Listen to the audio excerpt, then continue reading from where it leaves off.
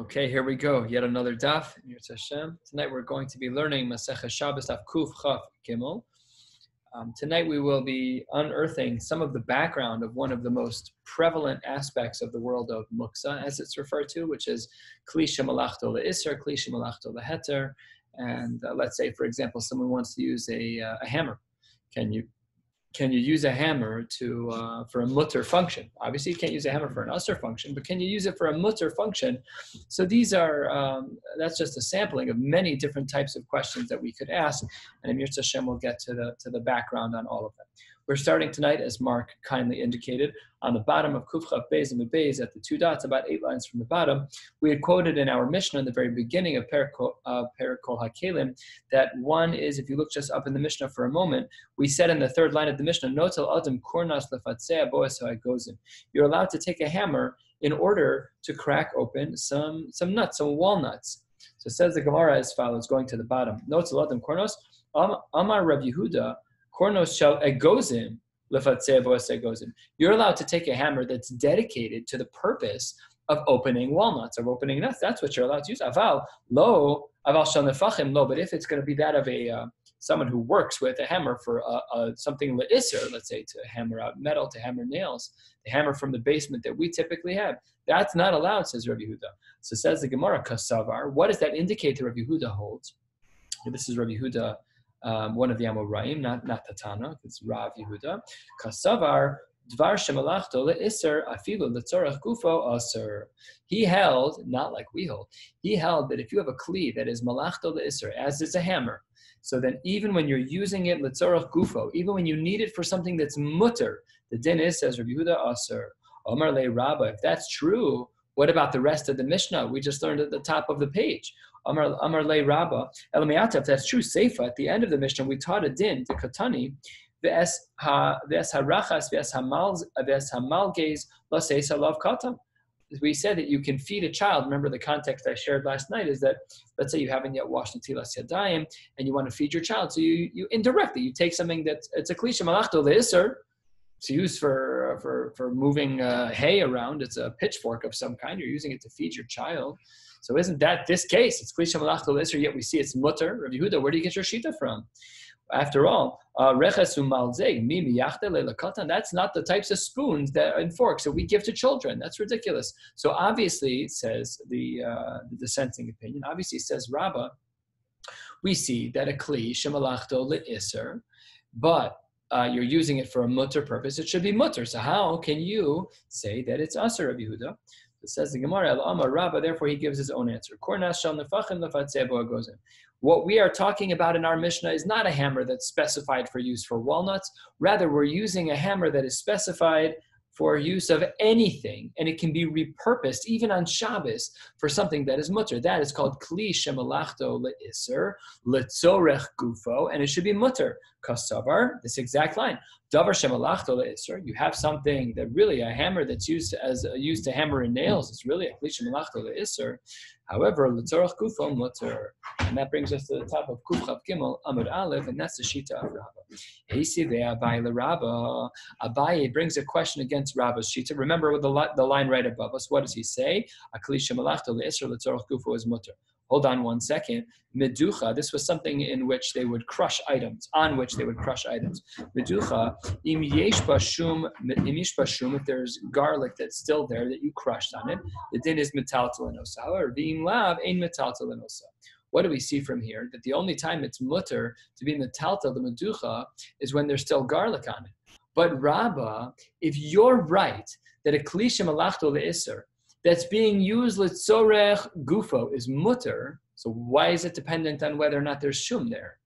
I don't care if there's garlic there. It's a klisha malachtol iser litzorech gufo, and you on the very top line of this page wrote the word mutter. So this case doesn't work with you. Amarle, fourth line, Kufchav Kim Lamadalef. Amarle, how money? Who is this uh, uh, source in the Tanaim like? This is the opinion of Rav Nechemya.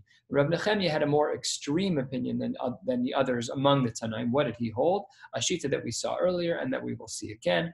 To Amar, Ein Kli Nital Ela Tashmisho. He had a general din that on Shabbos you can only use a Kli for its intended purpose across the boards.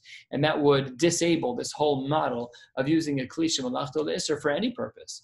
Um, and even, of course, for uh, for a permissible one, and therefore that's the sheet of Rav Nechemia. But Rabbah doesn't hold like Rav Nechemia. Rabbah holds like the other Tanaim. Asive, another question is asked in the Gemara, skipping the parentheses.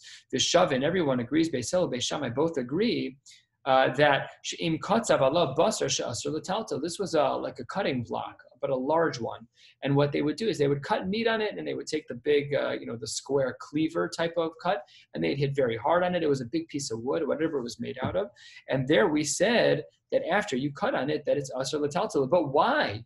Why should it be usr? If Rabbah holds that a davar shemalachto leisr letzorach kufo is mutter, that's this. It's a davar shemalachto leisr. You're using it for good reasons. You're cutting meat and it's on yantif, which is the case here, so it's mutter to cut on yantif. Why then does it become muksa?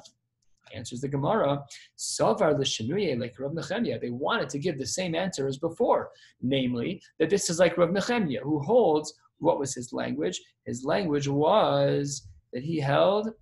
Where's the line? No. Oh, ein kli nital ela tashmisha, that you can only use a kli for its own purpose. We wanted to give that answer, but kevan de shama laha de amar Rav Chinan bar shalamya mishmei de rab hakol modim b'siche zairi umizure, that by these three types of utensils that are used uh, by weavers, um, or they're part of the dyeing process, but there are three um, they're very unique and potentially expensive utensils. And since those were not allowed to be used because of their expensive nature, the cave and the kapit alayhu, because we're, so makbid about them, makom, and therefore we made these things miyuchad, and therefore you cannot use them under any circumstances. Hachanami, here too, in regards to this block of wood, it's, it's a davar miyuchad, miyachad. That's why in that particular case, we said that we would not apply Rabbah's rule of davar shemalachto l'isr l'tzorach gufo as mutter because there it had a special din, and maybe, maybe as some of the Rishonim entertain, this is where we see the idea of something called uh, muksa machmas chesron kis, something that is muksa because it's so expensive. Um, maybe uh, a lot of our technological devices are like that. Uh, maybe uh, anything that's expensive that you wouldn't want to break. You have a very expensive uh, dish that you got from uh, as an artifact. It's a it's a it's a family heirloom. So maybe that's muksa mach mas kis. Maybe that's what's being meramid here. Itmar, about a quarter of the way down. Itmar Rav Chia bar Abba Amar Rav Yochanan Korna Shel Zahavim Shanim. The Gemara now is going back to our Mishnah and saying, okay, we had the machlokas between Rabbi Huda and Rabbah as to whether or not the Mishnah was talking about a hammer that's dedicated to be used for breaking open nuts or a hammer in general. And now we have still further qualifications of this hammer, obviously of much discussion. So Rabbi Yochanan is of the opinion Korno Shel Zahavim Shaninu. The hammer that we were talking about was one within the camp of Rabbah. Namely, it's one that's not dedicated to, to be uh, breaking open nuts only. What does this do? This is meant to hammer out metal. Okay, that's what he says. Rav Shemin Barabba Amar Kuna Shel Besamim. This what Shaninu. No, it's not meant to hammer out metal. It's meant to hammer out Besamim. As we will see shortly, the one for the Besamim was more miyuchad, was more uh, was more particular, more was more unique. Says the Gemara, Ma de Amar de Besamim Kol Shekain de Zahavim. The one who says that you're allowed to use a hammer that's meant to hammer out uh, Besamim that's kol all the more so zahavin. All the more so you could use the hammer that's used to uh, to hit the, and to flatten out metal. However, manda amar shel zahavin, the one who, who says that you're allowed to use the hammer that the hammer of our Mishnah is talking about one that is used to hammer metal, to hammer gold. About the besamim kapiralai. Maybe one could argue that because the uniqueness of the hammer for Besamim is greater than that of the one which is used for hitting out metal, one might have assumed that by Besamim we're more makbid and it's therefore not allowed. That brings us to the two dots, one third of the way down. Let's continue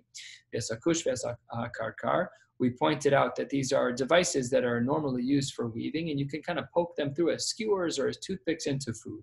Tanu Rabbanon, paga, if you have an unripe uh, type of uh, fig, shetamna beteven, and you, you, you are like kind of hiding it inside teven, which is muksa, which is like random hay, that's muksa.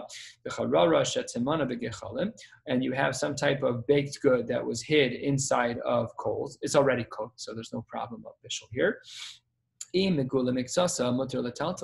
If a piece of what you hid in the ground is sticking out, you can just reach in and grab that item. And it's going to move things around it, but no problem at all. You're allowed to reach in, and that will not be considered a violation of muksa. But if it's not visible from the surface, if you put it in too low, the fig, the the the the paga too deep into the tevin or the charara too deep into the coals, so then the din is that it's it's considered uh, usher lataltala. You're not allowed. That's one shita in the Tanaim here and uh, one shita in, uh, and this is a Gemara quoted in Eruvin. And then the machlokes here is that of Rav Elazar, ben Tadoi. Omer, no. What do you do to get these things out? You use something else. You don't use your hands. Tochvin the kush obekarkar. You take one of these weaver types of pointy items, the hein minaros me'alein, and then you can poke out the item that you want, and then the things will fall on the sides, but no problem. Everything is fine. That's that's still considered okay. Amar of Nachman, Rav Nachman says, I hold like that opinion.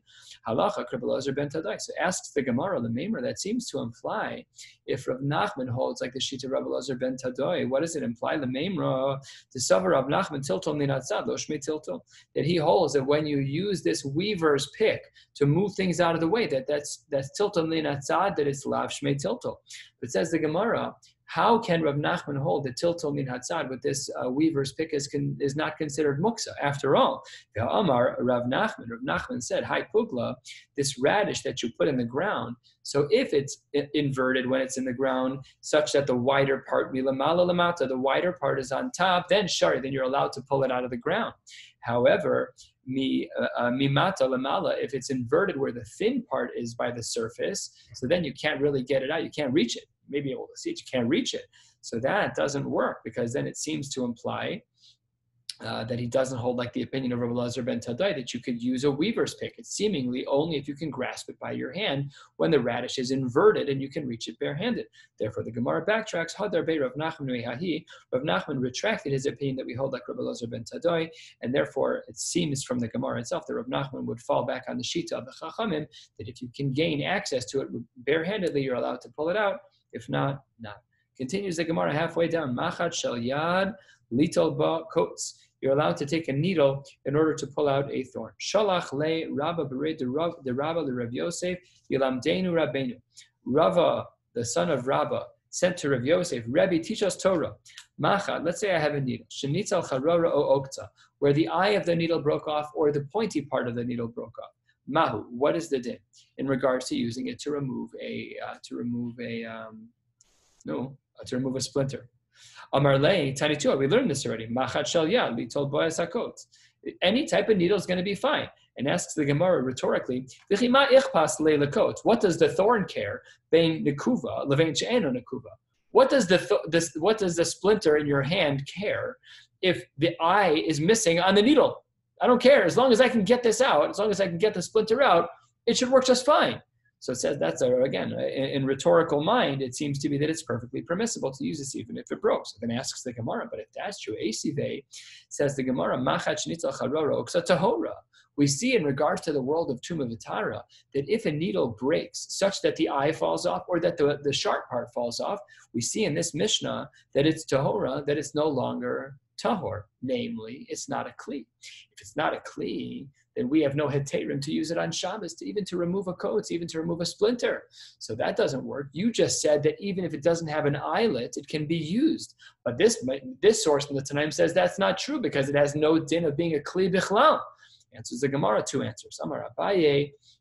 Abaye asks, "Come on, tuma ashabis karamis."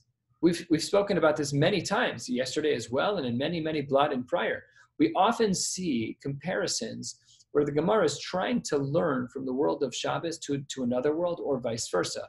Now we're looking at the world of Tuma Vitara and saying, are we able to extrapolate from the world of Tuma Vitara back to Shabbos? So says the Gemara in the name of Abaye, what are you talking about? That source proves nothing because it's apples to oranges. It doesn't compare at all because we're talking about Hilchos Shabbos. And by Hilchos Shabbos, anything that removes a splinter is mutter, even if it doesn't have the shame of a kli. Masha'im came, the source that you just quoted is Tuma. Who cares if by Tuma doesn't have the shame of a kli? This isn't about the kli status, it's about removing a splinter. Very good. Says the Gemara, Tuma, By tuma kli ma'isa. We need it to be a kli. Linyan Shabbos midi dechazi bo'inan. When it comes to Shabbos, I need I just need something that's functional to remove the splinter. V'hanami chazia lemishkala bakotz. And here, this thing, even though it's missing the eyelid, it still is appropriate to remove a splinter. Amar Rava, I don't agree with you. Uh, Rava says to Abaye, Man de kamosiv shapir kamosiv. The question is a really good question. Midila inyan tuma lav manahu, because by the world of tuma, it's not considered a kli. Inyan Shabbos nami lav manahu. Wow, a fundamental machlokas between Abaye and Rava. Do we say that we are allowed to learn Hilchos Shabbos from the world of Tuma Vatara? This requires lumdus, it requires thinking, it requires spending time letting it sink in. Are we allowed to learn dinim of Shabbos from a realm that has nothing to do with dinim of Shabbos? How far do we allow extrapolation to go? A great concept to, to think about in general. We don't have time to discuss it here at any length, but suffice it to say that it seems to be that there's a machlokas between Abai and Rava on this practical point, and there's a practical nafkamina. What's the nafkamina?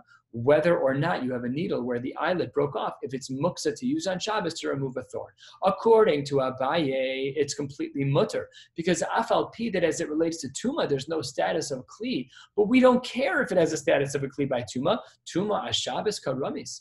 Uh, how, uh, how, how can you extrapolate one from the other? Masha Kain, Rava says, yes, you can. Yes, you can. You can learn Hilchos Shabbos from the world of Tuma. So that would be enough kamina between them. Let's continue in the Gemara. We're about nine, ten lines from the bottom. Mesive, we have a question that's going to be asked here from a Tosefta. Um, this Tosefta will, was quoted earlier in the Masechta and, uh, and is also found in Maseches Kelim.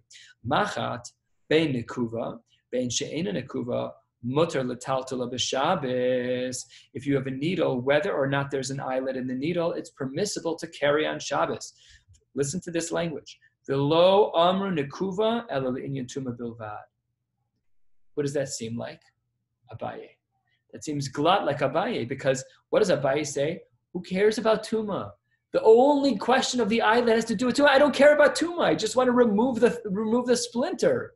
So this this Tosefta poses a big problem for Abaye.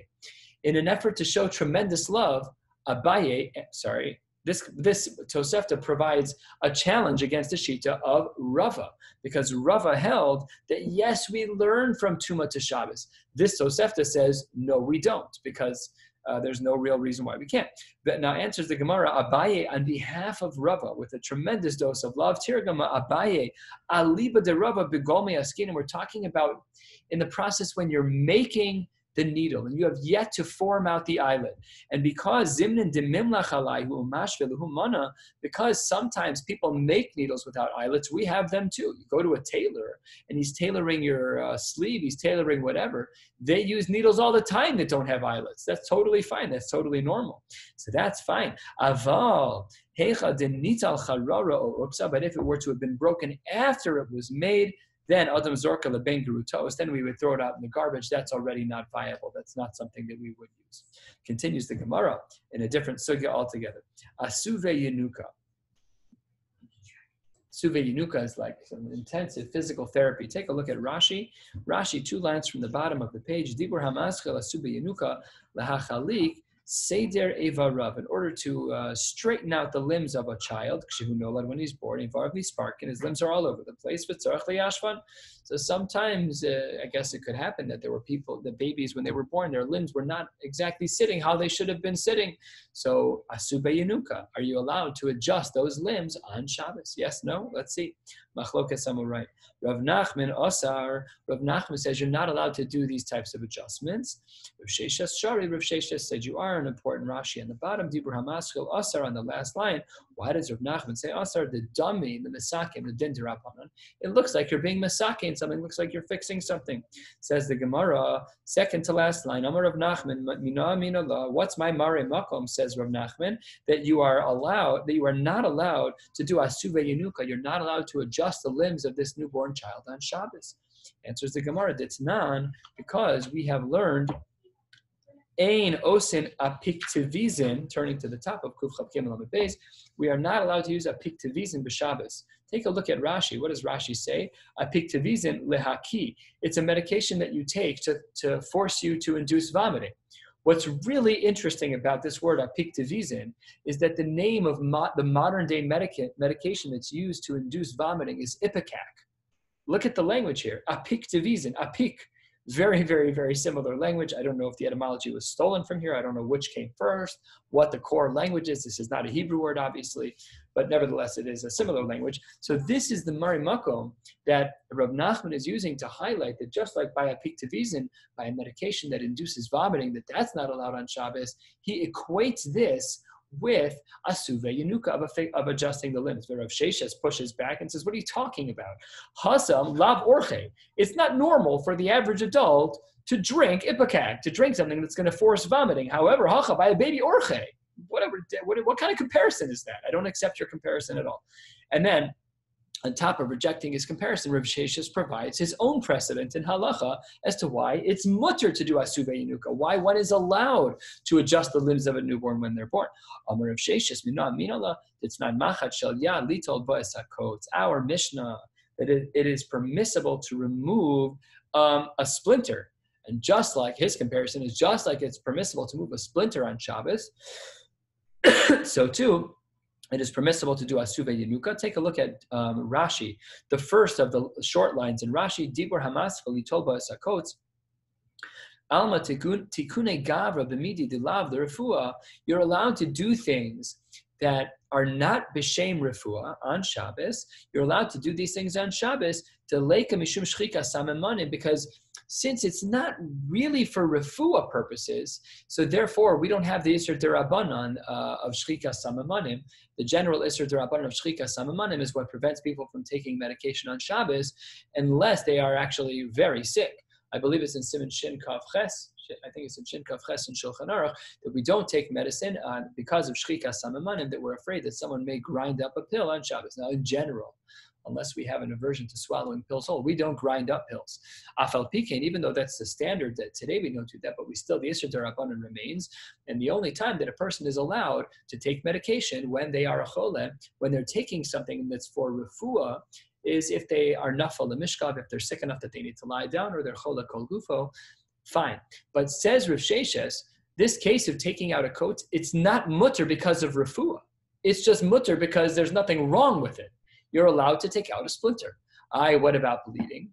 Davar you do a good job of taking out a splinter, lav dafka, that you'll take out any blood at all. And even if you see blood, it would be a davar sheni miskavin is mutter. Once you see blood, then you need to stop taking out the splinter because then you're already in the in the category of psikreshe below yamus. And as we've learned many times, Abai the the Rava Tarvaihu, they both held psikreshe below yamus that that would be us or even according to Rav Shimon.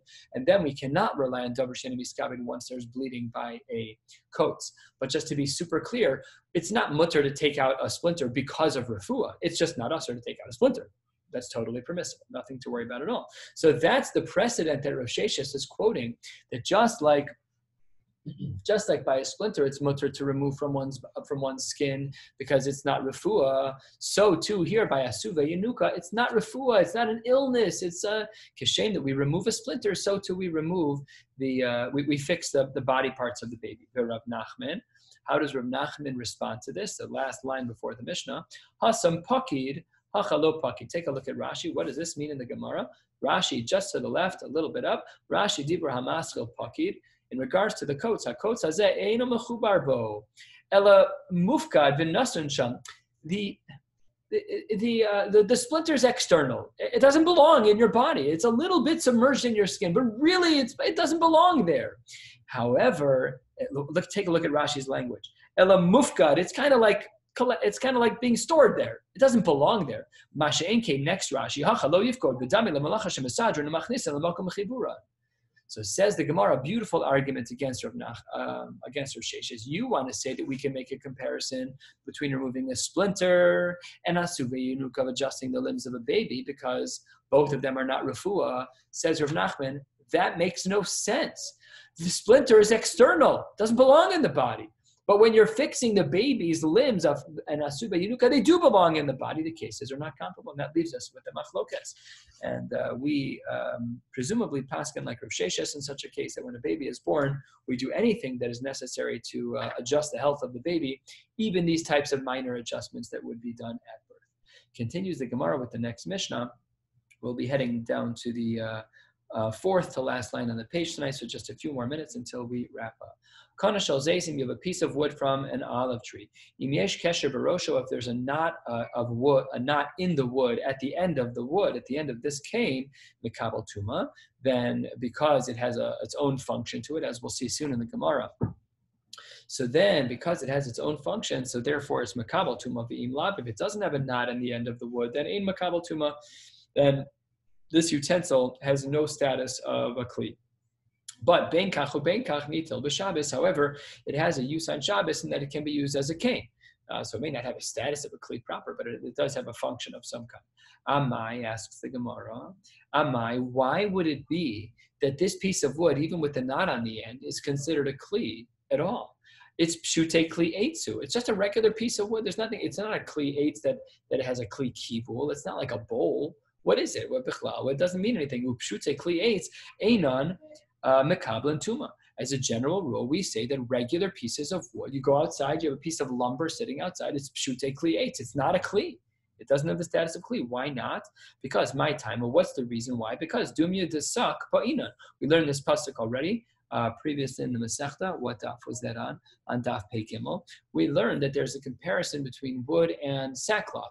Sackcloth is only deemed to be a is only deemed to be a kli when it can hold something, when it has the din of, of, a, of like a bag of some kind. That's when it has the din that's when it has the status of a kli. What about wood? Same. It has to match the suck, the sackcloth, and that it's able to carry something. But a regular piece of wood that can't carry anything. So why, even if there's a kesher on the end of the wood, even if the wood has a knot in its end, why then would we then con- consider it to be a kli? After all, we need dumya desakba. You know, in this case, it doesn't apply. Answers the Gemara,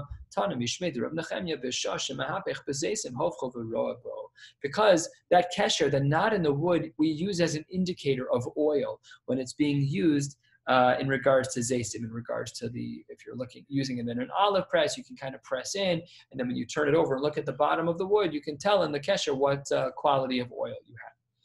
Very good.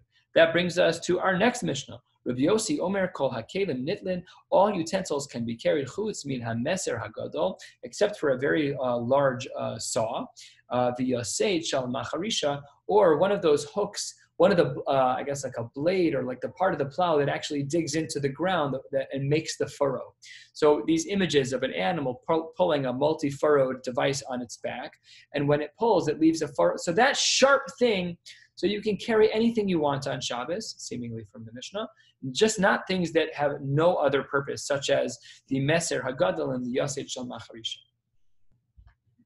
Says the Gemara, there are other things that have a use that are that are completely useless on Shabbos. What are they? Amar Rav Nachman Hi uchla dekatre, a, certain item that was used by someone who does laundry. He's kiyase shel macharisha damya. That's similar to this thing that which, which will never be mutter to carry on Shabbos. Amar Abaye, charva de ushchafi, the blade or the sword of someone who's an ushchafi. We saw this word earlier in the Masechta, a tanner. The sakina de ashkavta, the knife that's used by a butcher again like a, a, cleaver type of meat, uh, of knife that's used only under specific circumstances. The chatzina de nagre, a particular device that was used by those who were woodworkers.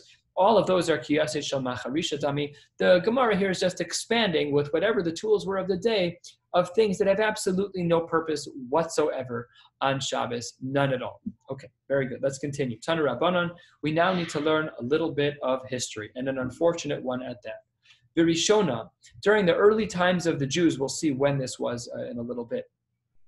Hayu Omrim, they were, uh, they, they, said, and this was on the good side of the coin, early on, they said, Shlosha Kalim Nitlin B'Shabbos. Uh, sorry, it's on the bad side of things. Only three types of utensils were allowed.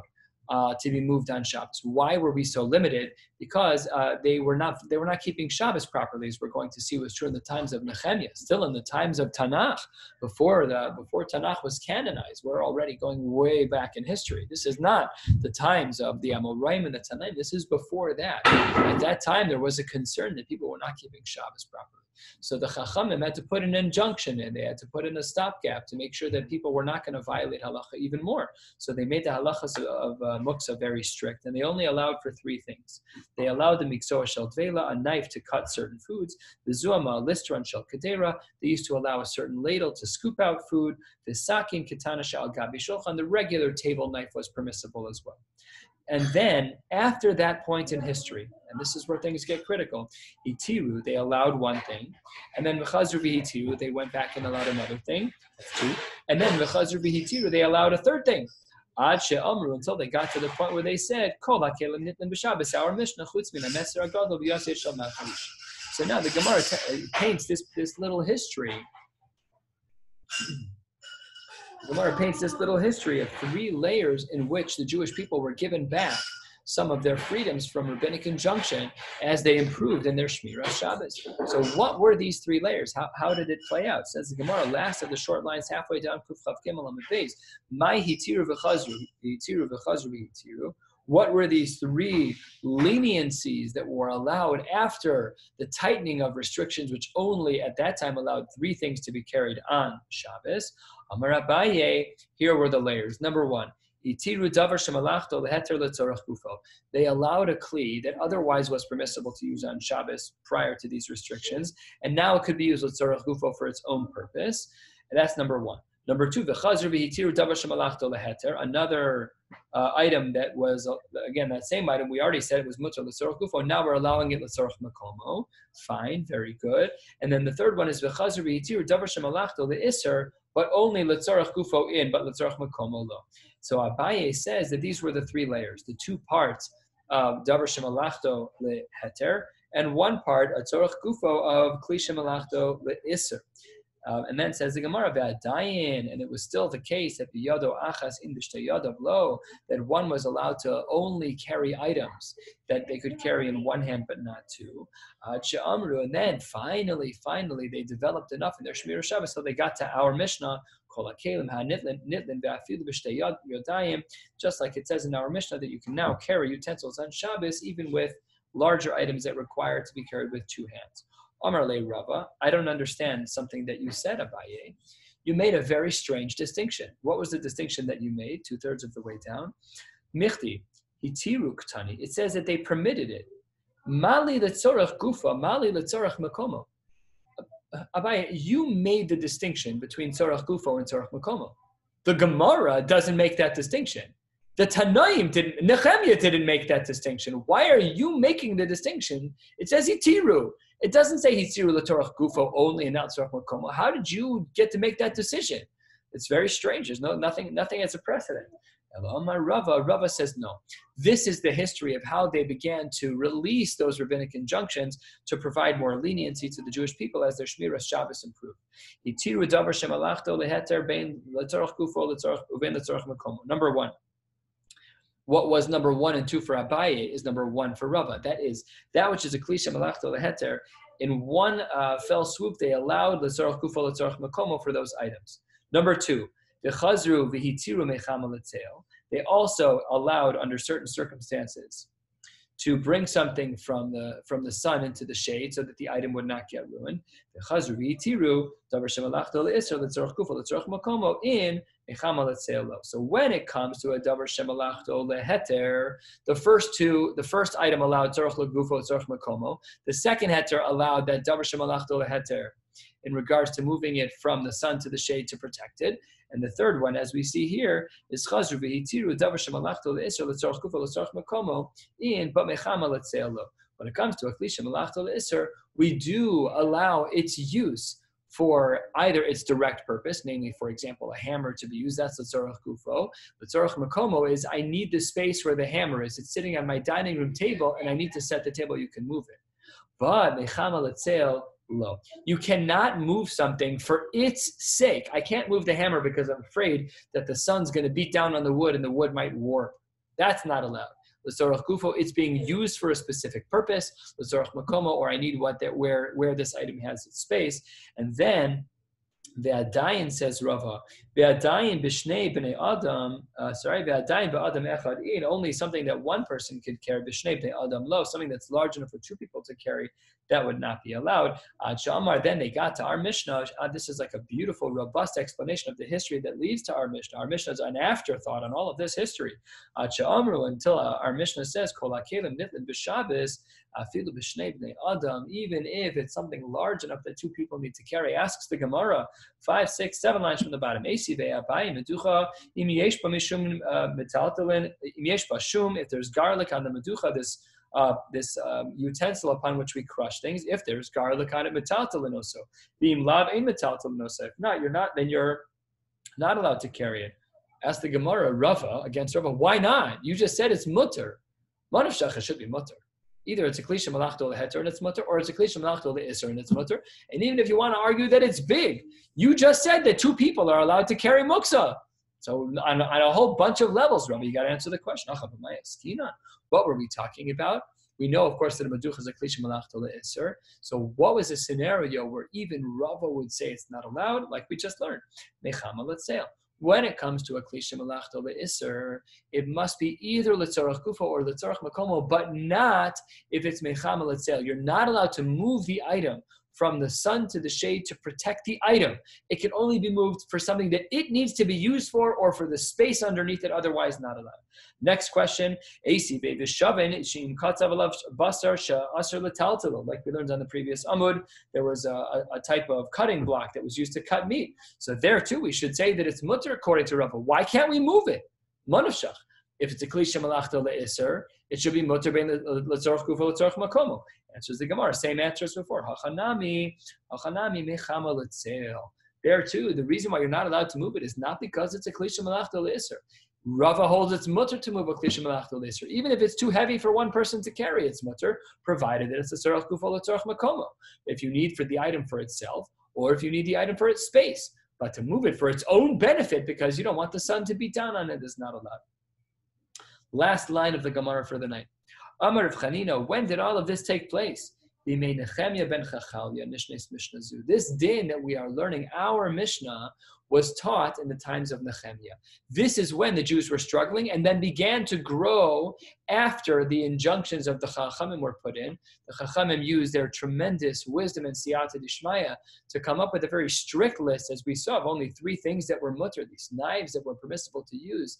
Those were the only things that were mutter until the Jews began to improve. Once they began to improve, Baruch Hashem, once they began to improve, those injunctions were removed until that led to our Mishnah with all the leniencies that we know of.